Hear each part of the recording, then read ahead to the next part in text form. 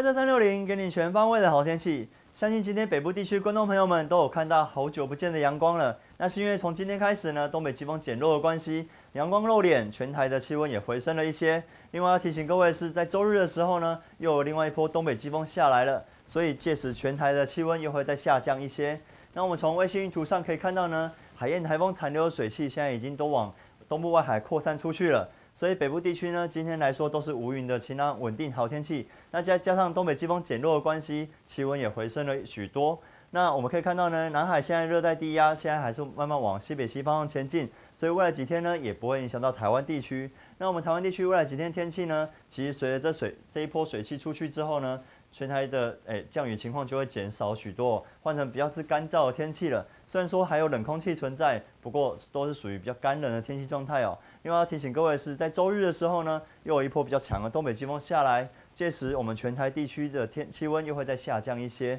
不过呢，这波冷空气可以看到，它其实不会带来什么样的水汽，所以未来这波呢，其实降雨的情况并不会太显著。那明天明天的降降雨几率呢？其实主要是以东部东部地区还是比较高一些哦。那是因为东部地区我们现在，那是因为东部地区还是属于比较迎风面的区域，所以呢，哎，降雨几率还是有来到百分之三十左右，是属于比较有零星毛雨的情况出现。那西半部地区呢，还是一样晴朗稳定的好天气，所以也不太有降雨的情况出现。那高温的部分呢，随着东北季风减弱的关系，而且中午有太阳露脸，所以温度回升到二十四、二十五度左右的温度。那中南部地区呢，可以看到温度还是像前一天一样，都维持在二十八、二十九度的高温。那低温部分呢，北部地区终于不会再跌破二十度的温度了，大概可以达到二十度、二十一度的温度。那中南部地区还是维持在十八到二十度的温度哦。那要提醒中南部的观众朋友们，一定要特别注意到，因为这样晴朗无云的天气，早晨的时候容易有辐射冷却的效应，所以呢，低温清晨低温部分会比较来的比较冷一点。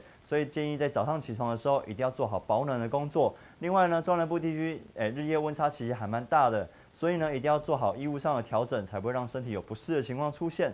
那以上就是今天的魏德三六零，我们来看一下详细的天气数据。